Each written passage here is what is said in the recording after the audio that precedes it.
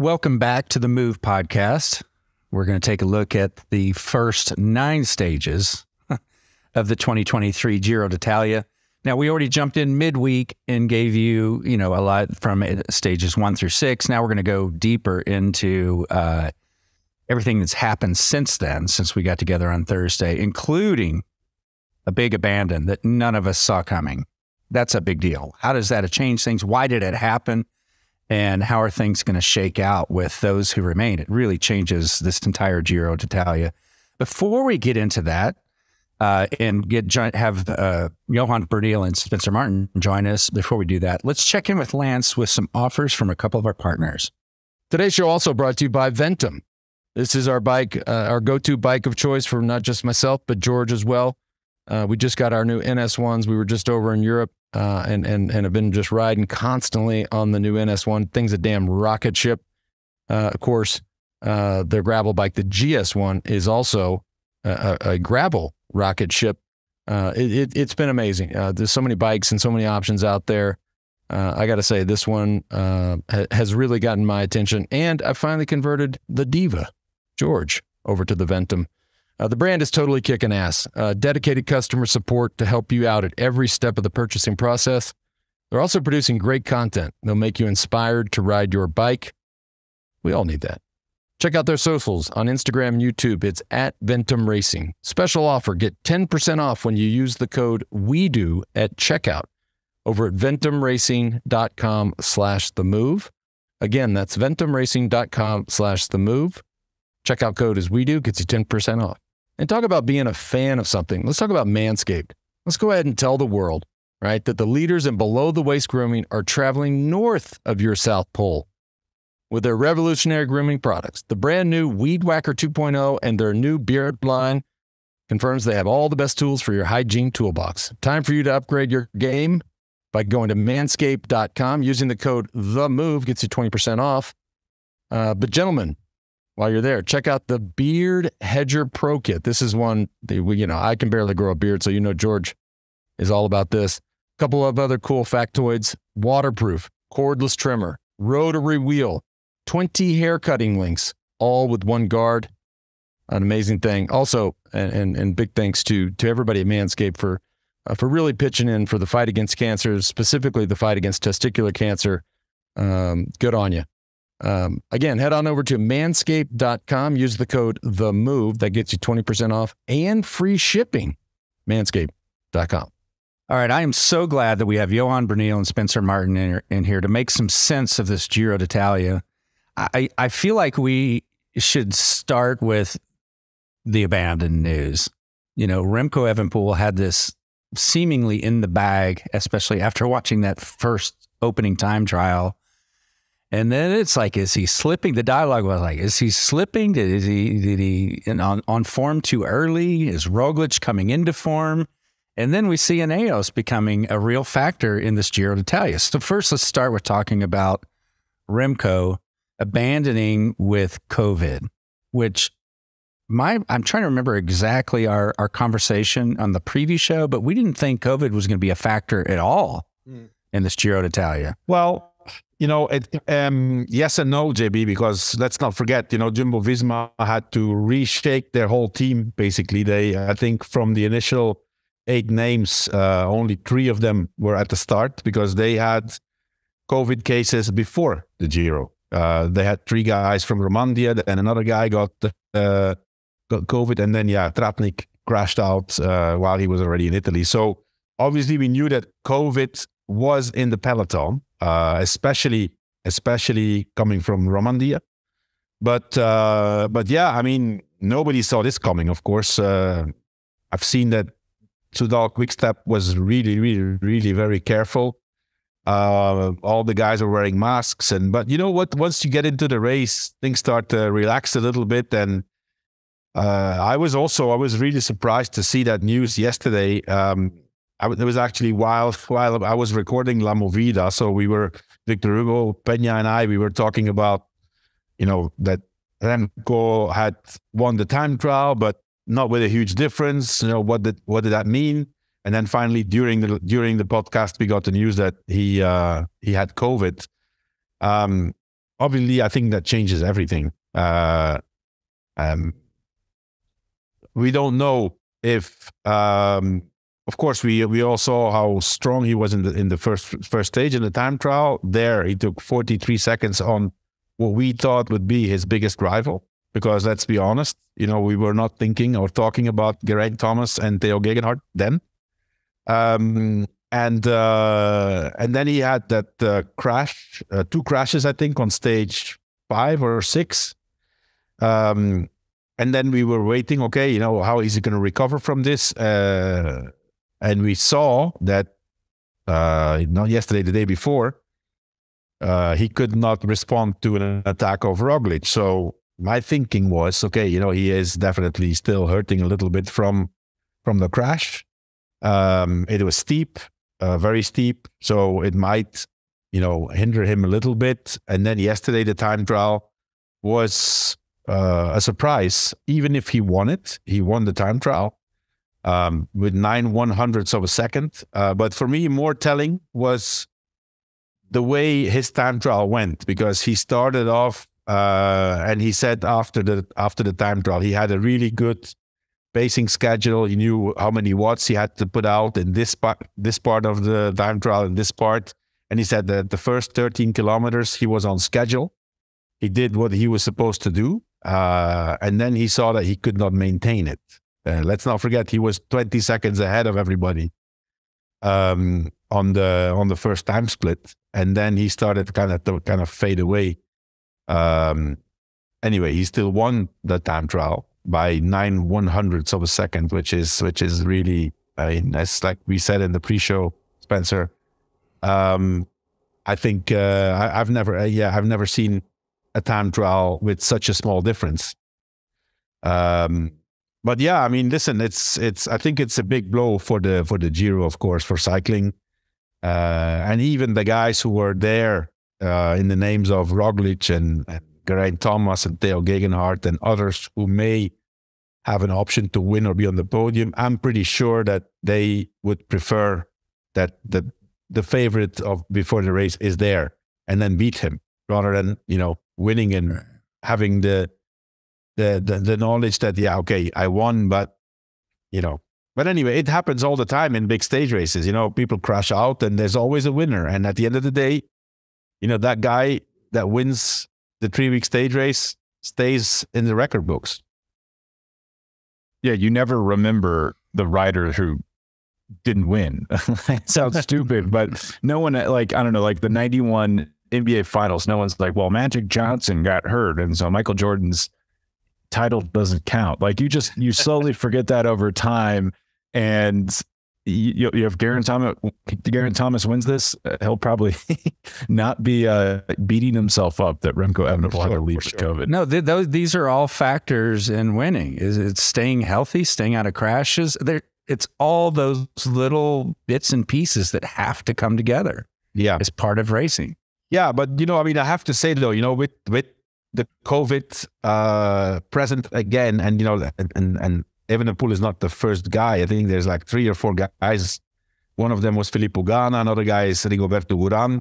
I think there's two or three others who went home. Um, it's it's you know we're gonna wake up every day and see who is starting the stage because now that it's it's going around, you know, I mean, it's it, I I know for a fact, for example, that Soudal Quickstep and Ineos and Jumbo Visma are teams that are really, really very, very careful. They they think about everything. I mean, it would be, you know, stupid to spend so much money on all these little details and then you know be completely relaxed about COVID, right?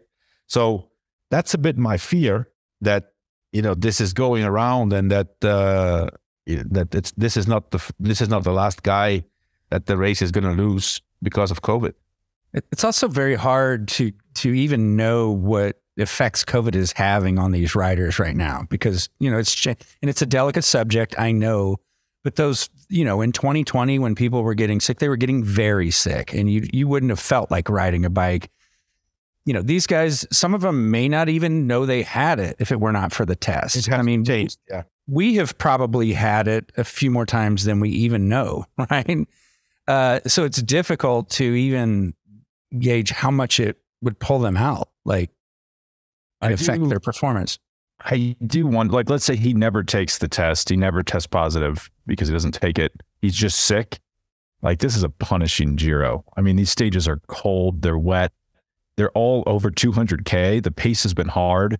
I mean, if this was a tour and you could roll along for four or five sprint stages, maybe, but I just have a hard time believing with it with a viral infection of, of any significance that you could realistically hang in the race. And as Johan was saying in the pre-show, his face yesterday after the stage was was beat up. I mean, you could see how much he was suffering just from his face. So I don't know if he could have. I, I at first I thought, well, this is a little odd. Like maybe just isolate him for the rest day, see how he feels Tuesday morning.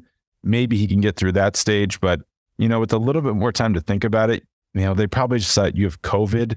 Like, what are we doing? You're already sick. You, you'll probably you're not going to win this race if you have a viral infection against. You know, you only had a 45 second lead, which is not as much as you would have expected after two flat time trials. I just think it. I don't think it was like really an option they had to keep him in the race. It was a 30 second lead uh, after the, the the time that he lost. After the time he lost, then oh no no no, it was again back to yeah yeah true true true it was again back to 45. But but um, Spencer, you know after the time trial, so before he took the test, so he didn't know yet that he had COVID. He was already complaining about you know my nose is blocked. You know it, I'm I'm not feeling great. I hope I can recover. You know with the rest day, so he was complaining about certain symptoms. And and you know, my my personal opinion is that right now, I mean, in the majority of the cases of COVID, of course, there are still cases where the symptoms are severe. Um, but you know, I mean, almost everybody is vaccinated. Uh, in in the case they're not, they have built up enough antibodies, and let's say the symptoms are milder, but it's still comparable to a flu. And you know what? I mean, if it's not COVID and you have the flu, you go home too. In, Yeah, in the gym. You know, Yeah.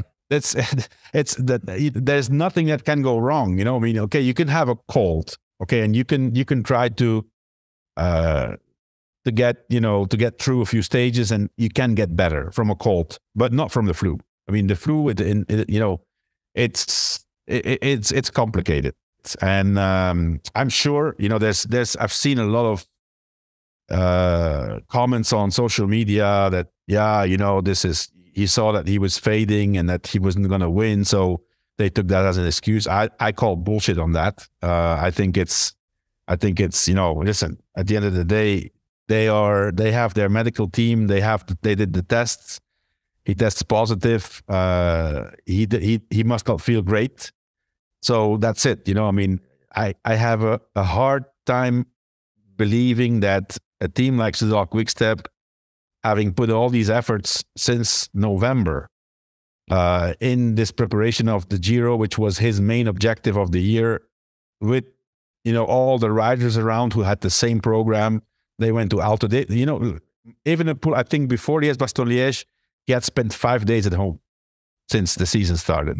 Wow. You know, uh, you don't throw that away, like you know, uh, like that. There must be a serious reason, and I think I think uh, those suspicions, or you know, whatever you want to call it, conspiracy theories that that he just went home because he saw that he couldn't win. I, I, that's not true. Absolutely not true. Well, I think uh, it's good that Johan's pulling pouring cold water on this. I will. I'm not proud of this thought. My first thought was, oh, he got a start. He got an appearance fee from the Giro from RCS, and he always he was just going to do the tour. That was always the plan, and he just dropped out. And now he's going to collect a few million euros and then go to the tour anyway. But I That, think that was that was my twisted thought too. Not Oh. that he got paid already, but I, I thought, oh man, he's he's on form. He realizes he can. He's tour ready. Let's go home. Prepare for that. No, you guys are no yes, it was late at night, yo. We weren't- spending too much time on social media and, and reading too much, too many, you know, whatever you call it, you know, investigation, you know, C- CSI. We're like those guys that get on the you know the the uh, WebMD oh, sites. I think we're a doctor, right? There's a direct correlation between time on Twitter and how dumb you become. All right, let's stay focused on uh, Remco for the time being. I think at a certain point we're going to talk about those who remain, and it's really going to be interesting with Geraint Thomas and Tao Geoghegan Hart and Roglic. So let's hold off on that for a moment. The moment. What do you suspect? And I know there's no way to know for sure. What do you think the the rest of the season looks like for Remco? How do they shape this up? I'm assuming I'll have a speedy recovery. Yeah, yeah, that's for sure. Um, it, listen, I, I don't know. I don't know personally. The way everything is structured now and the way the seasons are set up, I think. I mean, I may be completely wrong. I have no idea. Yeah. Uh, I think his next focus was going to be the World Championships, and he's going to remain with that plan because the tour. Listen, right now, especially in the case of a guy like Remco Evenepoel, he's world champion. He's one of the biggest talents. Whenever he shows up, he it's people expect him to win. First, the first person who expects him to win is himself. He expects to win. So yeah, if you look at if you look online at what they had disclosed, I mean, yeah, it's World Championships for Rodan Time Trial in Lombardia, and one other tune-up race before those. But yeah, and and Liège, it was Liège Bastogne Liège, the Giro, and then the Worlds and uh, yeah, the world the World's Road Race and Time Trial, and so. Um, knowing what goes into this this is not just preparing for a race it's a whole project it's not just one person it's a whole team right so i think it I mean, it's possible, but uh, I think it would really have to come from Evenepoel himself, who says, "You know what?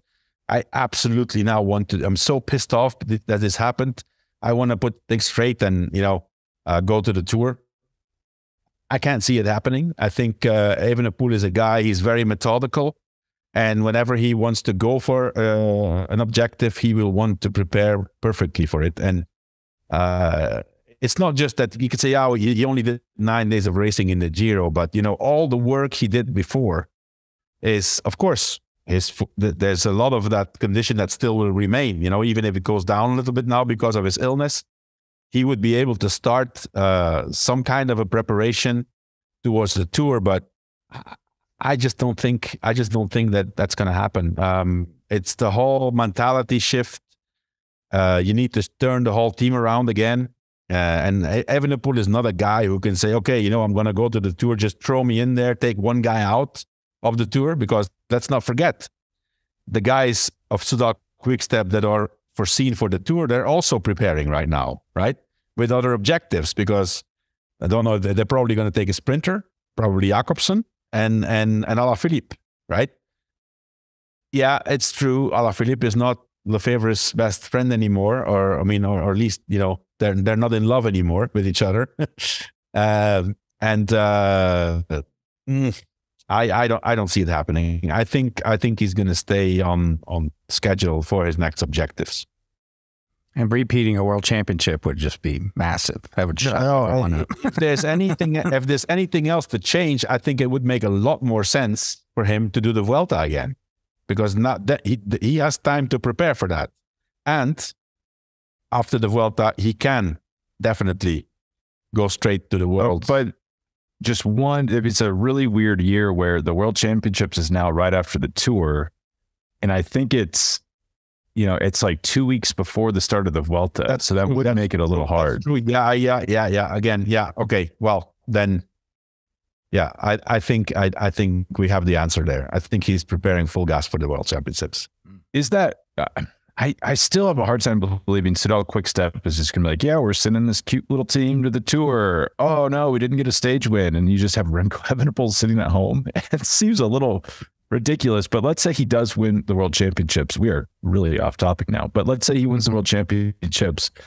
And is that kind of an odd season? Like he wins Liège, looks great, does nine days of a grand tour, wins the worlds, and that's the season? Hey, I, I would have taken that any time. That's common.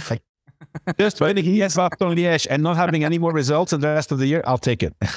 Yeah. but 90% of the peloton will take it. Listen, Spencer, let's not forget also one thing, right? So one thing is the team and the sponsors, but let's not forget that Patrick Lefevere has all of his sponsors signed up for, until 2026. So, you know, it's it's they're fine. They're fine. I mean, they're not going to be judged on. I mean, this is obviously, you know, a big setback, but that's part of the sport, right? I mean, listen, this, uh, nothing's guaranteed. I mean, uh, he's out with COVID now. What if he crashes? And and you know he crashes out. That's the same thing. So uh, no, I don't think there's going to be any pressure of the sponsors uh, to for him to do the tour. The pressure is from the the, the media and and the fans. It. I mean, I, yes, I agree. Everyone would love that. He is really at a level though where he's should be being compared to Pogacar and Vingegaard. And if I, I don't know. It's, it feels odd to me. Obviously, I'm not a stakeholder, but Lefevere, what's his favorite thing to say? He'll say this to anyone. He's saying it to a mailman right now. I don't pay these guys to win world championships. I don't care about world championships. They don't ride for my team in the world championships. Is that going to play into that at all? Hey, is there any jersey that's that has more exposure than the world championships jersey throughout the year with your sponsors on it? Especially when you show up in white. You know, no.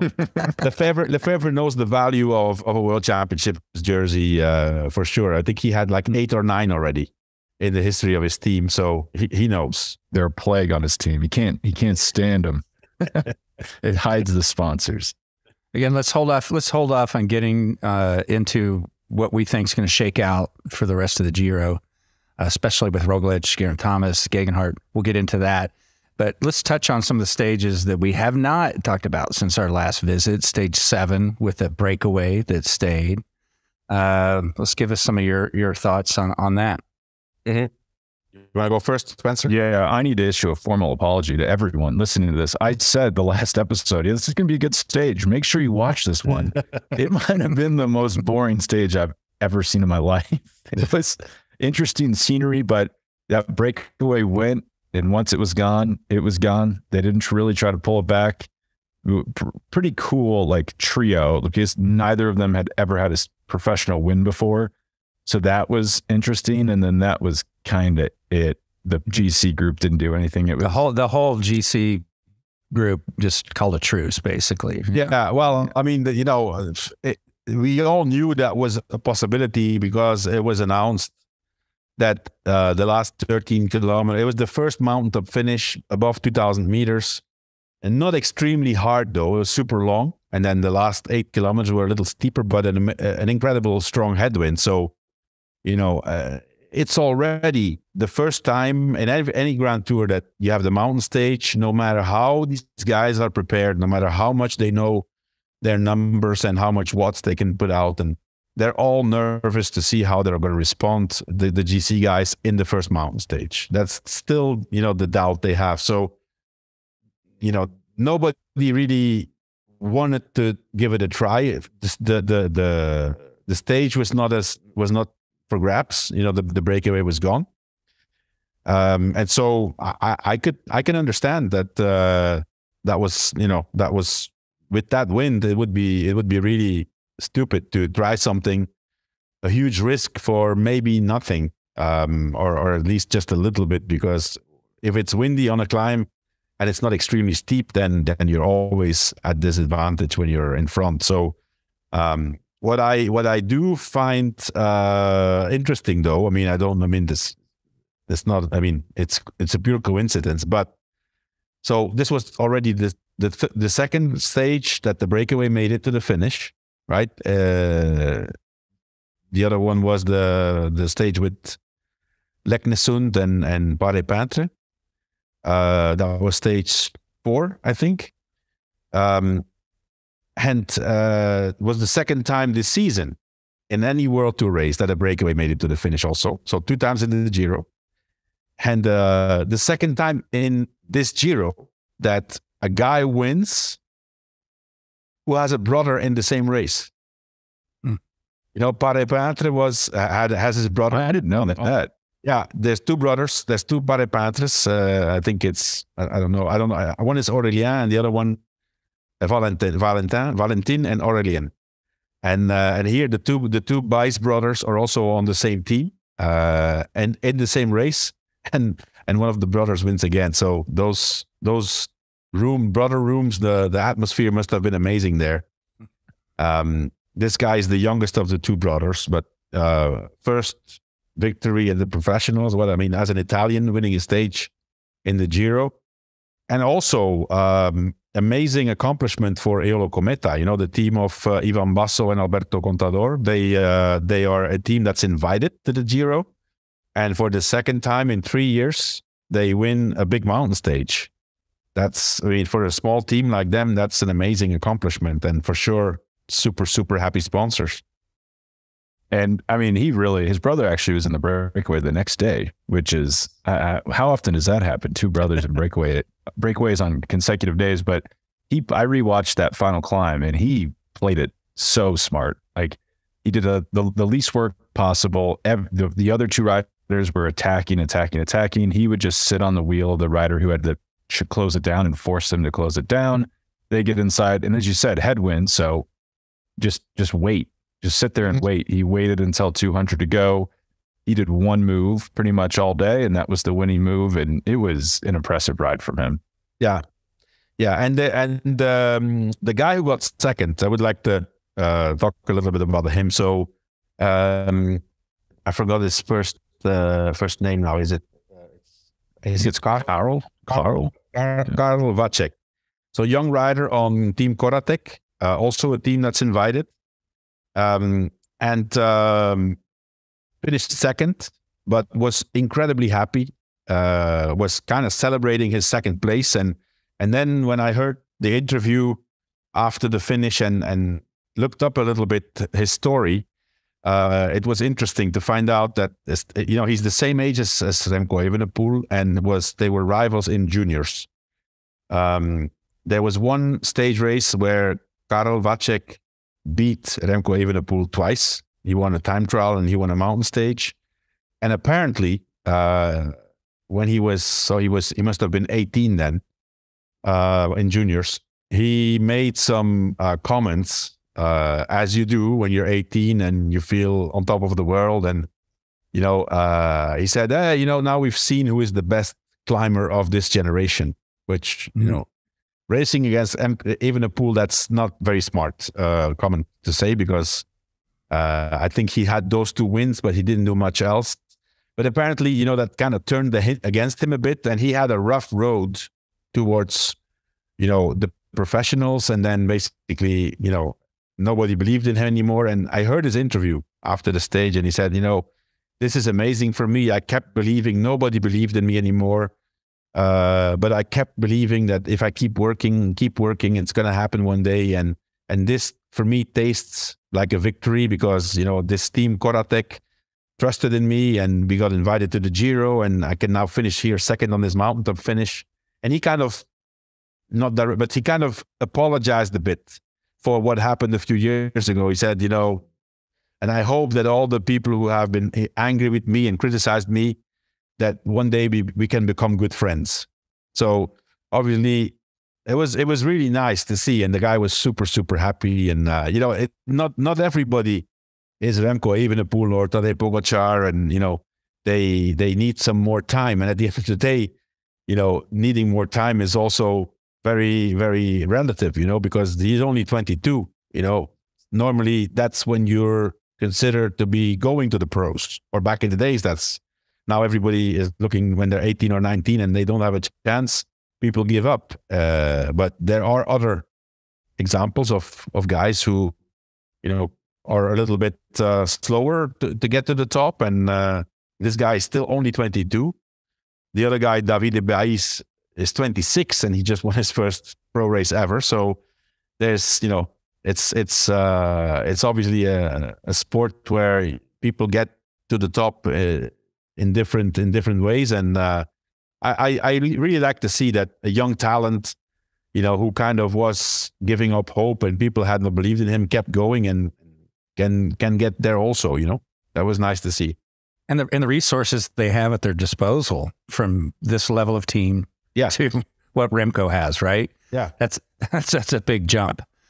Um, Okay, let's talk about stage eight because a lot happened there. Obviously, uh, let's first start with the stage winner, who has gotten a lot of TV time in, in this year, this season already. Ben Healy, who's a writer that just has grown on me immediately. Like, uh, I really, I really like this talent. Well, I Uh, have to big I win for him. Say, I have to say sorry. I sorry. I take the lead on this, Spencer. I have to say I raised my hand and I uh, I have to swallow my words. I don't remember in which uh, episode, but it's probably it was probably on the pre-show of the Giro or after the Bastogne. I don't remember, but I did uh, I did say uh, and I thought at that time you know that I had heard that Ben Healy would be going to the Giro, and and I said big mistake from the team to take him to the Giro.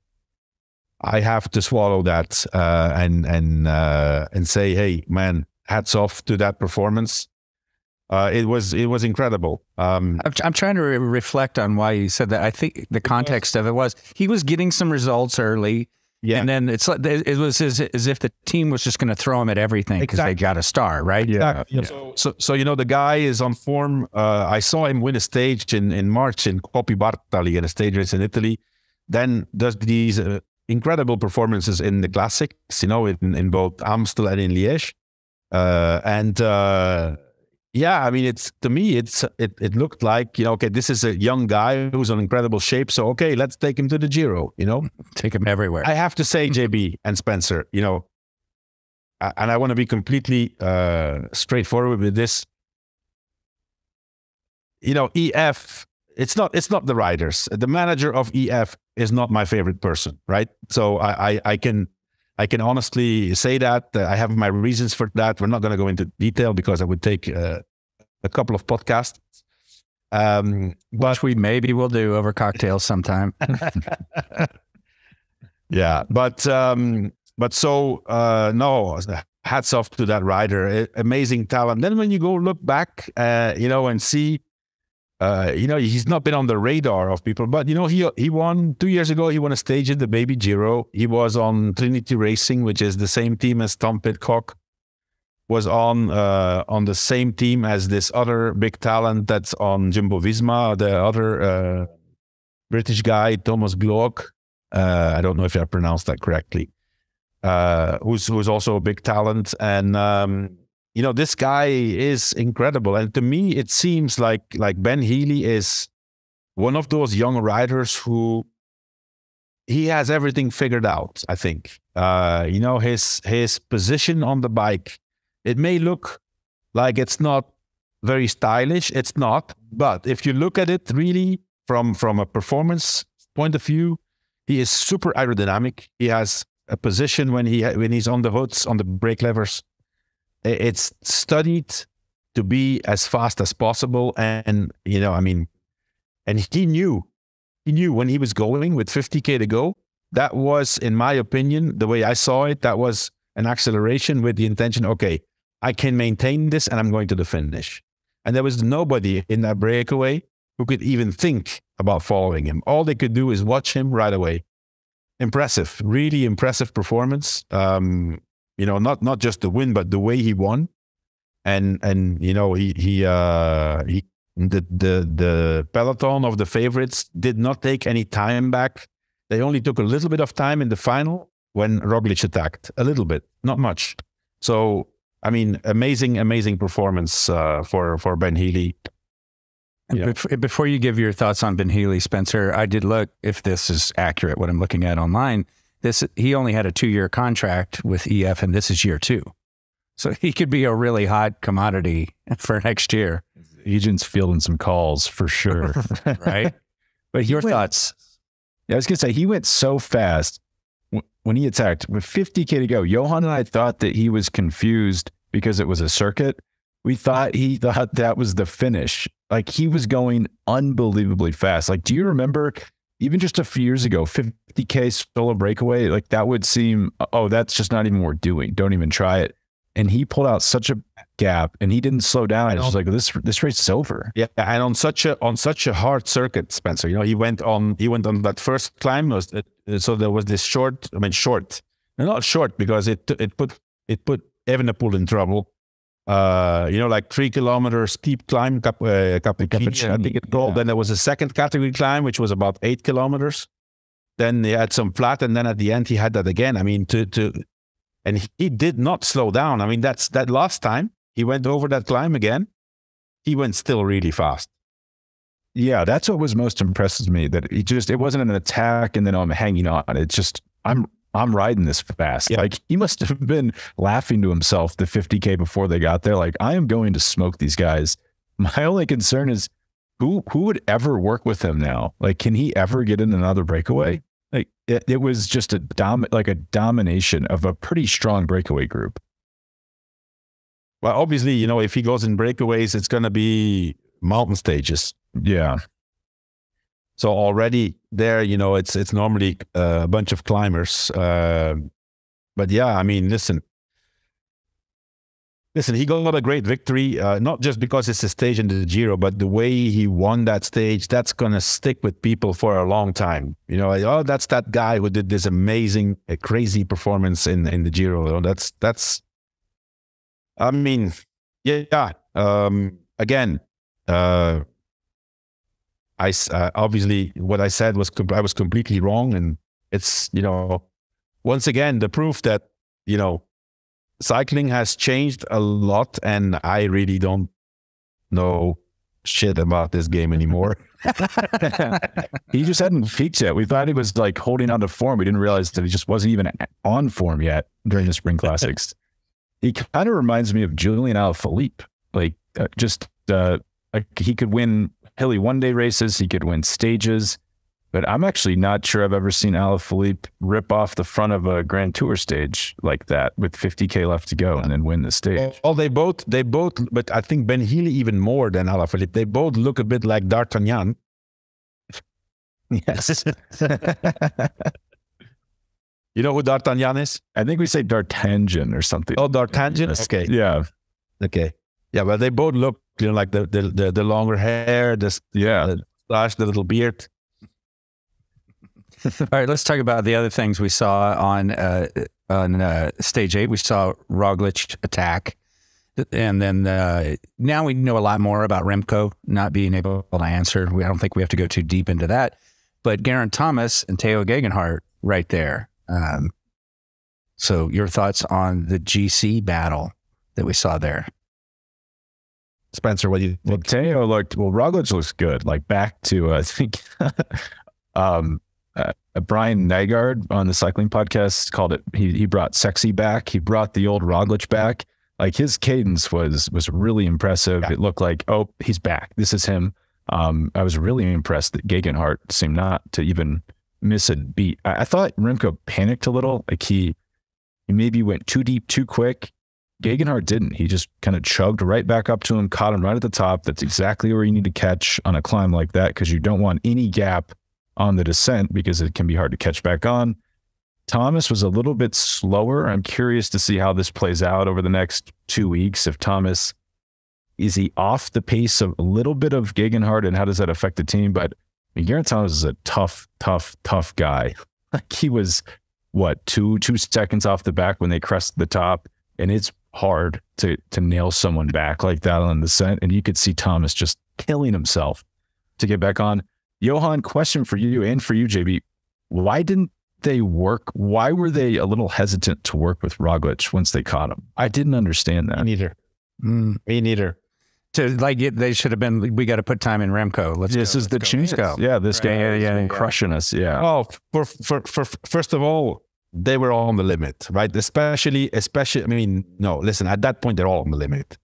But, um, but yeah, I mean, uh, I think Geraint Thomas was definitely on the limit because he he was the slowest guy to to, to to and it took it took him a lot of effort to get back. So then you have like your your heartbeat up here, and you have to.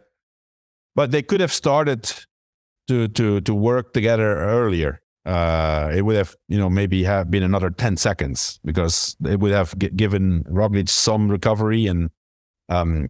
So we'll we'll see, we'll see what you know. We'll anyway. We don't have to see now because Remco's out. But uh, but yeah, I mean, listen, Spencer. I, I mean, you know, you know, I said from the beginning, right, that this was going to be uh, a four man race. It was going to be it was going to be uh, Remco and Roglic and Geoghegan Hart and and and Thomas. Did I? Mm, I didn't. I, did, right? I think we did. No, we did. No, we didn't. We did. We, didn't. we said we said, hey, this is this is Remco versus Roglic. that we said about anybody else. Well, it could be a COVID case. And actually, Geraint Thomas impressed me at Tour of the Alps. I think I said the opposite of that. He looked terrible at the Tour of the Alps. I don't know what happened. So no, here you, that's you know that's that's the proof that these guys. Listen, we knew, we knew that Tao Geoghegan Hart was in good shape, but in my opinion, and I think most of most of the people and the followers of cycling say, okay, you know, it's it's Tao Geoghegan Hart. Yes, he won the Giro, but it's only the Tour of the Alps. The Giro is another another game, and uh, but in my opinion, from what I've seen now, Tao Geoghegan Hart is in better shape than in the Tour of the Alps right now not just because he, he could uh, get across to Roglic, but especially because of his time trial yesterday. I mean, that's the best time trial Tao Geoghegan Hart ever did in professional cycling. Well, do you want to hear a crazy stat? So out of the four main contenders, contenders, Tao Geoghegan Hart, Primoz Roglic, Almeida, Geraint Thomas, Tao Geoghegan Hart has beaten Thomas by 14 seconds in the combined time trials, Roglic by 18, Almeida by 22. So he's the best time trialist of these GC contenders remaining, and he's not even a time trial specialist, which tells you his form must be unbelievable. Yeah. Yeah. So now they're all, and these, these are all within five seconds here. Geraint Thomas, I mean, Roglic is just two seconds behind that. Tao Geoghegan Hart is just three seconds behind Roglic. Yeah, so crazy. They're, obviously, we knew Roglic has been smelling blood all along, especially with that attack then, but how does this shake out, in your opinion, you guys, between uh, Thomas and Geoghegan Hart? Well, is, is it still kind of a quote co leadership kind of thing, or do they? What do you think? I, I think I think they first of all I think they're good friends. I think they they I mean to me it seems at least that's what we see on social media, right? I, I I kind of like the vibe that's going on within Team Ineos. It's they're, they're you know they're joking, they're making fun, they they have a, a special sense of humor, uh, but I kind of like it. And um, I don't think there's going to be any issue at all between between those two guys. Uh, they both will work for each other when they have to, and I think that's what that's the strength against Roglic and Jumbo Visma. That, you know, they have only they have only that card to play, and uh, it may be that that's how they can beat him. Um, on the other hand, you know, the Giro, whatever we've seen until now, is nothing compared to the incredible long and steep mountains that we still have ahead of us. So, um, you know, there's certain there's certain stages where the climbs. It doesn't really matter if you have somebody with you or not. It's like okay, whoever can go up this thing fast fastest is is winning because drafting is not such such a big big advantage and. Uh, you know, now, the thing is, uh, what's going to happen is Ineos, because normally if Geraint Thomas decides tomorrow to, to start in pink, he has the choice apparently, because he hasn't actually gotten it on the road. I personally think he should, he should start in pink. Um, but are they going to defend that jersey or going to, going to try to look for uh, a situation to kind of get rid of the jersey, but still stay ahead of Roglic?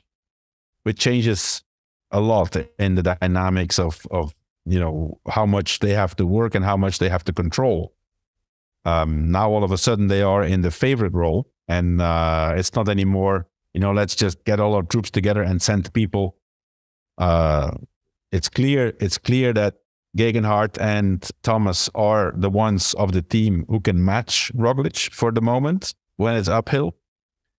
And the others, uh, with all due respect, you know, Arensman, Sivakov, uh, Laurens de Plus, they are they are in amazing shape, but they're not as good as as Roglic. So it's it's a bit of it's a bit of a it's a bit of a risk also, right? So for, let's let's say for example, there's a situation in one of the next stages, and the group goes, and Arensman is in there, who still you know is a great cyclist, and uh, he seems to get into shape. I mean, a lot better shape than than he was in Tour of the Alps. This is a, probably somebody who reacts to altitude a little bit later. Um, but is that worth the risk of letting a breakaway go and get Arensman in that uh, leader's position? uh, and whoever is with that group, are they? Is there not the risk that somebody may beat Arensman further down the road? Right. So yeah. Hang on, but uh, before you give your thoughts, Spencer, on this whole, whole how this is going to shake out, uh, real quick here, let's check in with Lance. He'll have uh, some messages and a couple offers. We always, almost always have discounted offers with our partners, and we'll be right back. Our next partner has a product that I literally use every day. I started taking Athletic Greens, gosh, been a couple years now. I really wanted better gut health, more energy, and I kind of hated taking pills and vitamins. I wanted a supplement that actually tastes great. So, what is this stuff? 75 high quality vitamins, minerals, whole food source superfoods, probiotics, and adaptogens to help you start your day off just right, all for less than three bucks a day. It's really about taking control of your health. Right now, it's time to reclaim your health and arm your immune system with convenient daily nutrition. Let's make it easy. Athletic Greens is going to give you a free one year supply of immune supporting vitamin D and five free travel packs with your free first purchase. All you got to do is head to athleticgreens.com slash the move. Again, that's athleticgreens.com slash the move. Let's talk about HVMN. All right. We're talking about the company that has uh, that has really perfected this idea of ketones and ketone esters. Uh, this has also become a, a, real, a part of our daily uh, protocol, not just myself and George, but our friend JB Hager. He was laying around, thought he had, you know, COVID brain, HVMN and ketone IQ snapped him right out of it. Um, we often hear that fasting and exercise are good for the brain. There's so many other ways to do it. By the way, the, the ketone IQ has the ability to cross the blood brain barrier, which is uh, is pretty unique um, and also uh, used by the special forces, uh, not just here in the United States, but around the world. And, and as well as we talk about all the time, 60% of the, reportedly, and upwards of 60% of the Peloton is using the ketone IQ from HVMN. Head on over to hvmn.com, use the promo code THE MOVE at checkout. That saves you 20%. Again, that's hvmn.com, and the promo code is THE MOVE. Let's talk about sleep. More specifically, let's talk about Helix Sleep. As you all know, um, so, so many of y'all listeners out there are pushing yourself hard, whether it's on the bike or on the running trail or in the pool or in the gym. And sleep is one that's the best hack I've ever come up with. And fortunately, my entire life, I've been a good sleeper. But guess what? It's gotten a lot better because I only sleep on a Helix mattress. Here's a question for you How long have you had your mattress? How has your sleep improved? Well, now we have an answer to it. With Helix, you go on their website, take a two minute sleep quiz, talk about your sleep, talk about the characteristics of what you like and what you don't like, what you'd like to improve, and voila, you have a totally custom mattress shipped directly to you. And by the way, don't forget the little ones. Helix Sleep has kids' mattresses specifically designed for children 3 to 12 years old. Check this out as well. Parents Magazine just named it the best mattress winner for their little ones out there. And also, Wired Magazine and GQ Magazine named Helix Sleep one of the best mattresses on the market. Helix Sleep is offering up to 20% off all mattress orders and two free pillows for our listeners. Go to helixsleep.com slash the move. Again, that's helixsleep.com slash the move. Okay, Spencer, now, now your thoughts uh, on this, especially with uh, Ineos. Yeah, Johan brings up an interesting point here where they could have Thymen Arensman get into a breakaway. They call everybody's bluff. Like, well, we're not worried about it because we have five riders. They have five riders out of their seven in the top 13 within two and a half minutes of the race lead. And all of them are pretty good climbers. So it gives you a few cards to play. If you want to be aggressive, yeah, you could say, well, Arensman, we're fine with losing the jersey. Now he's the leader. Um, but yeah, this is this is a problem they've had for like five years now since Chris Froome had his crash. They have a, a wealth of options. They Even this happened a little bit in 2019 at the Tour when Bernal and Thomas were both up there, and they seemed like they were hesitant to pick a leader. You you can have the race slip away. Like what if they okay, Arensman's in pink, Arensman gets dropped and crushed on the stage 20 time trial, and now we've lost the race. Maybe we just should have picked one rider to back them, like Yumbo is doing with Roglic it's you know it. I just kind of wonder: Are, are we going to see this again, where they almost ride too conservatively to cluster riders towards the top, and they aren't okay with just saying, "Geraint Thomas, you're our leader. Taylor Geoghegan Hart, you're our leader." Obviously, I think that would be too reactive because those guys, correct me if I'm wrong, should be co-leaders. I don't think Geoghegan Hart's going to be working for Thomas at any point. I don't think, unless he falls out of contention, I don't think if Thomas gets dropped, Geoghegan Hart is going to wait for him in the middle of a stage, a, mountain stage. I think those guys are co-leaders. Geoghegan Hart's actually outperformed Thomas on the road. The only reason he's behind him is he lost 19 seconds in a sprint stage because he was held up by a crash. So Geoghegan Hart should be considered within the team is equal, if not even a more priority than Geraint Thomas, because he's actually won a Grand Tour more recently than Geraint Thomas has.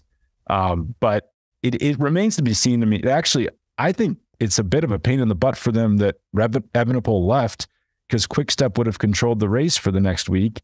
That's actually a pretty tricky week. And now they have to burn all these guys in the front and they have Crans Montana coming up on Friday, which is a really hard mountain stage. They might have preferred just to have been sitting back and letting Quickstep control this race. Mm-hmm. Yeah, um, we'll we'll we'll see. We'll see. I mean, now obviously Ineos is the the you know the team that everybody's going to be looking at.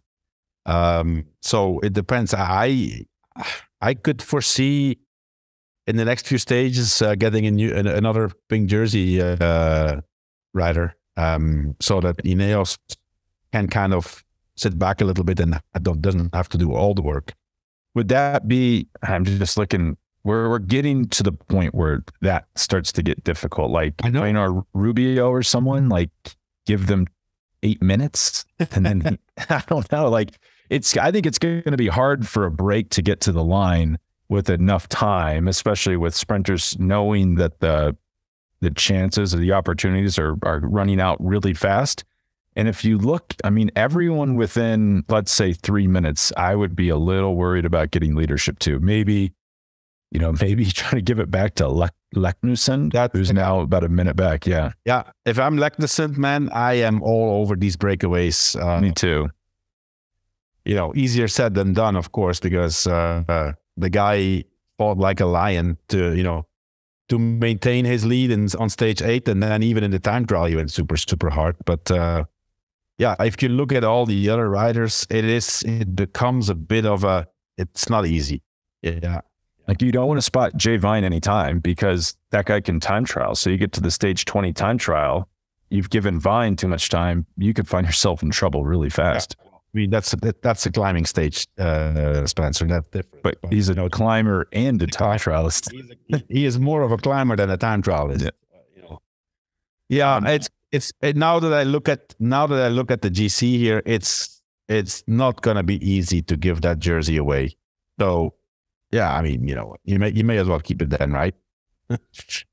And they are strong enough. I mean, they would be nice if they had Ganna. Uh, I'm sure they wish he was still here and didn't yeah. have to leave the race with COVID. He would have been huge for them. You know, they are, they have kind of been controlling the race. They're the strongest team in the race. You know, maybe they just take this in stride and it's not that big of a deal. And they figure, at least in their minds, we would have had it on Friday anyway, because Taylor Geoghegan Hart's going to drop everybody and win that stage. Even if that maybe isn't exactly what would, would have happened. Yeah. Uh, how, you know, we'll go back to what you brought up uh, earlier, Johan. You said when, you know, pre show, we were like, Evenepoel and Roglic were way up here, and then we'll see who gets third on the podium. There was a big gap.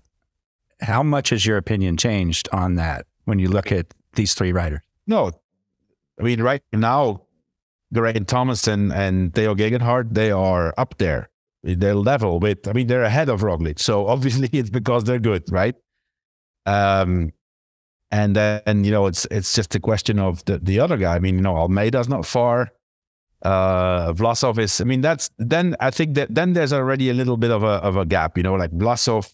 But apparently I read an interview of Vlasov and he said that he, you know, he prepared only for the Giro, took it like, uh, like he would come a little, a little I'm not gonna say underperforming, but like taking it relatively easy and then try to be strong in the last week. So, um, you know, I, I can't see it happening that Vlasov would beat everybody, but uh, you know, let's not forget, you know, Thomas and Geoghegan Hart, they are Grand Tour winners. Uh, and and you know, Thomas even the Tour de won the Tour de France, was second in the Tour, was third in the Tour.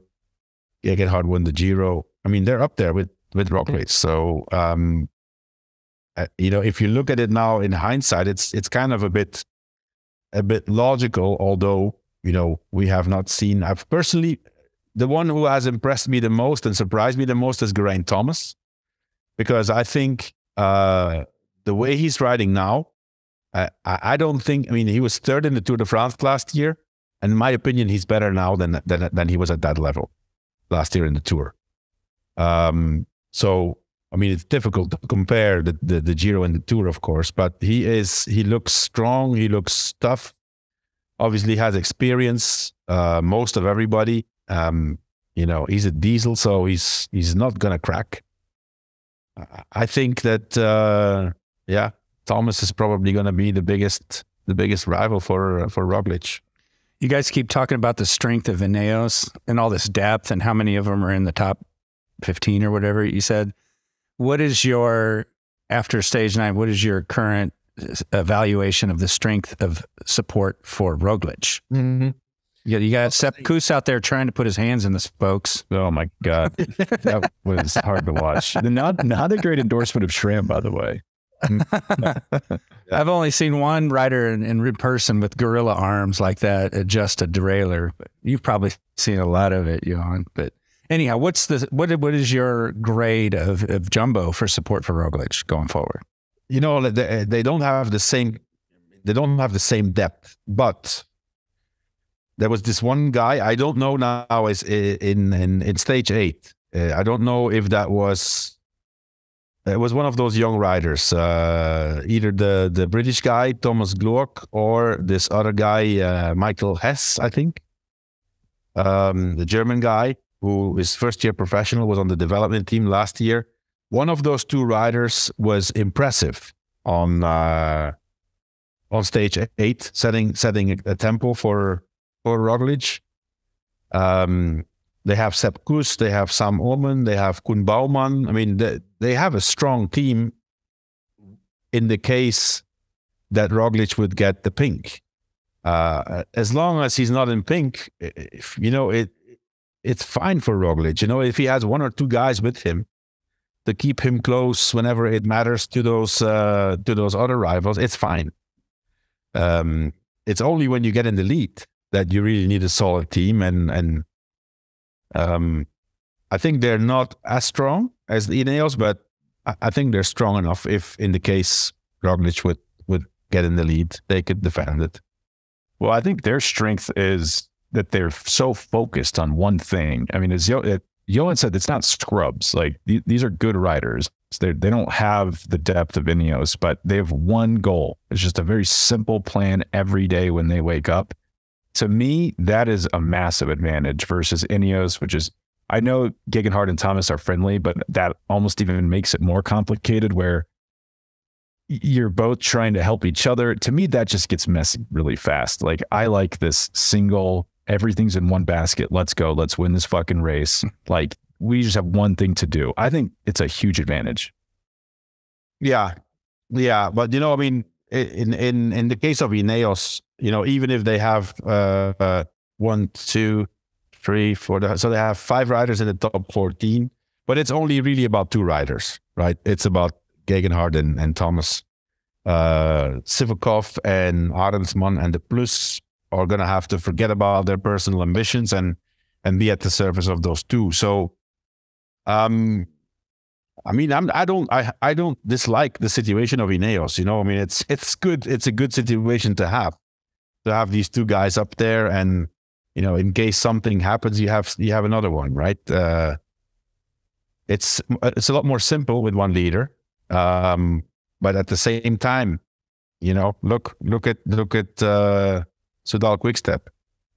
You know, these seven guys now, they have to completely yeah, that's the turn the switch, turn the switch, and and and try to to get you know it's it's we only have nine days. There's still eleven days, twelve days to go, twelve stages to go. So it's gonna be tough for them. But I, I can see them get away with a stage win or two uh, to that quick step. But, well, it's uh, gonna totally because they've been closing a lot of stuff down. Like McNulty's not been able to get into a breakaway because yeah. Quick Step marks him now they've switched sides. Now they're the ones attacking. I think it's going to make the race a little bit more unpredictable. These breakaways might have more firepower than they did before. Yeah. Okay. Uh, I think we covered everything. Any other any other parting thoughts? Just one question. So, Johan, you said earlier, you know, what we've seen these climbs are nothing to what we'll, we'll see later in the race. Are we potentially like Geraint Thomas is time trialing well? Are, are we potentially just misremembering how good Primoz Roglic is? Like, if you remember at Catalunya, anytime he he got out of the saddle, he dropped everyone in that race, which a lot of them are GC contenders here at this Giro. Like, are we going to remember on Friday? Oh yeah, this guy's really really good. I think so. I think I think Roglic is is an amazing cyclist. Um, you know, uh, I'm I, again, you know, I'm I'm I'm surprised to see that Thomas and and Geoghegan Hart are so close to him. I mean, he, as I said, even better for the moment. But let's not forget, you know, there are hard stages coming, and Roglic is a killer, and he, man, he's a specialist and at, at taking those bonifications. Um, you know, as you said before, you know, the Giro's never won with a big margin. The bonifications may be important. Uh, in this case, it's a huge advantage for Ineos also that Tao Geoghegan Hart is fast too. You know, so if Roglic doesn't drop Tao, then that's going to be interesting. Those sprints for the for the bonifications.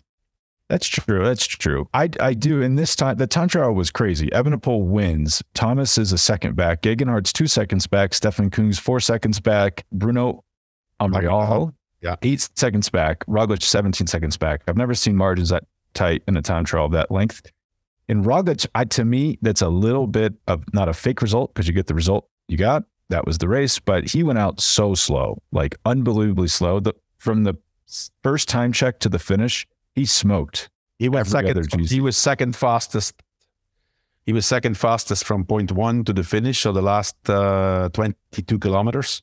And the only one who beat him is Bruno, who had slightly better wind. Armirail, yes. Yeah. So he So he is flying right now. So Rog, let's say Roglic, Roglic and Tao Geoghegan Hart and Geraint Thomas were were more or less uh, on par. So uh, Roglic was two seconds faster than Geoghegan Hart in the in this in the second time in the second part, and he was four seconds faster than Thomas. That's basically the same. He was, however, 14, uh, 15 seconds faster than Evenepoel in in that from point one to point uh, to the finish.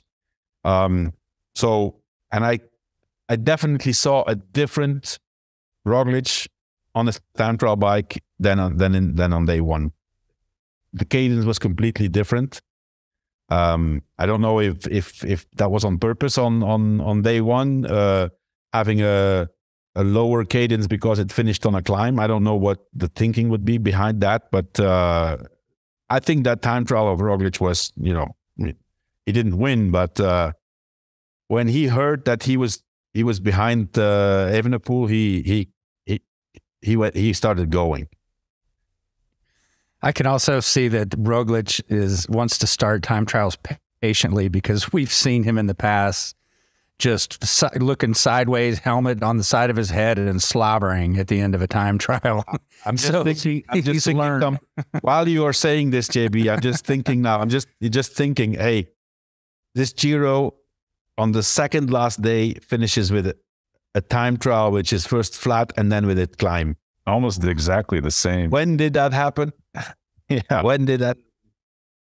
Anyway, the, the you know Pogacar's not here, and and there's there's nobody of that level here. But uh but yeah, listen. I mean, it's it's uh it's a shame. It's a shame that Evenepoel is is is gone. But it's I mean it it's definitely going to be a very interesting Giro. The you know, and these guys are. Yeah, we're talking about the three big guys, and they're all three Grand Tour winners. You know, it's uh, it's going to be an interesting race. Excellent. Okay. On that note, we'll wrap this up. I do want to take a second to uh, mention to people you can go to wedu.team and get a season pass. You can be part of our member meeting, which is all the pre show and uh, the fireworks from Johan. it's good stuff, I'm telling you. And you never know what's going to come out of Lance's mouth on some of these pre shows, too. So you get that with your season pass. You'll get a member tee uh, when you sign up. You'll get discounts on all the merch. And also, if you um, uh, can help us out with our efforts in Tellico Plains, Tennessee. After I left Chattanooga at Hincapie Fondo, I went up to Tellico Plains with Operation Get Out. And it's a very impoverished community. But I will tell you this it's some of the most beautiful terrain I've ever seen in my life.